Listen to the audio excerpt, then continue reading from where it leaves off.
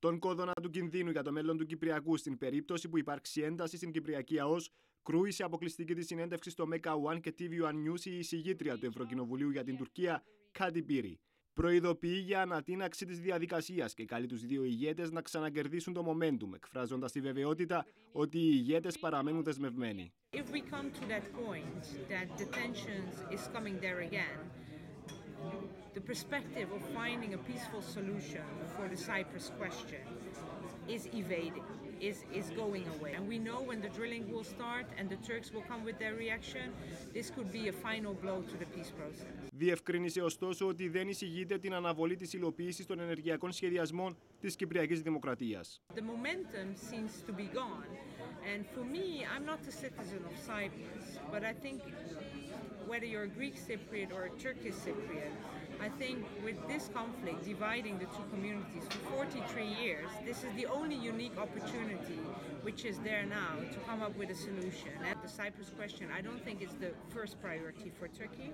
Η ενταξιακή πορεία της Τουρκίας είναι στον αέρα. Η Ευρωπαϊκή Ένωση διαμηνύει ότι δεν είναι διατεθειμένη να ανεχθεί την αντιδημοκρατική συμπεριφορά του Τούρκου Προέδρου, ενώ οι προκλήσεις απέναντι στην Κύπρο συνεχίζονται. Προκαλούν ανησυχία τόσο για τη σταθερότητα στην περιοχή, όσο και για το μέλλον του Κυπριακού, το οποίο κρίνει σε μεγάλο βαθμό και τις ίδιες τις σχέσεις Ευρωπαϊκής Ένωση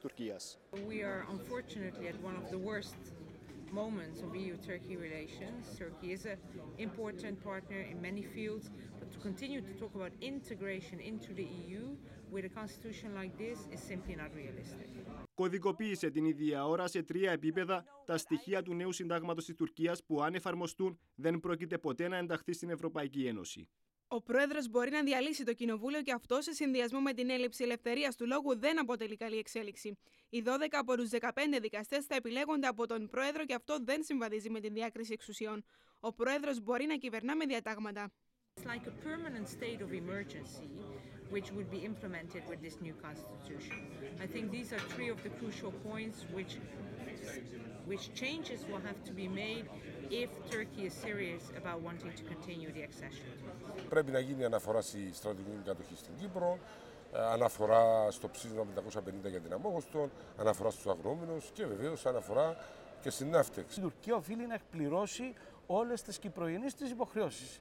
Ουδέμια υποχώρηση από αυτού είτε είναι ειδική σχέση είτε είναι πλήρης ένταξη στην Ευρωπαϊκή Ένωση. Αξίζει να σημειωθεί ότι το Ευρωκοινοβούλιο θα εξετάσει στην έκθεση προόδου τόσο τα αρνητικά στοιχεία του νέου συντάγματος, όσο και τις κυπρογενείς υποχρεώσεις της Τουρκίας, όπως θα προωθηθούν μέσα από τις τροπολογίες των Ευρωβουλευτών.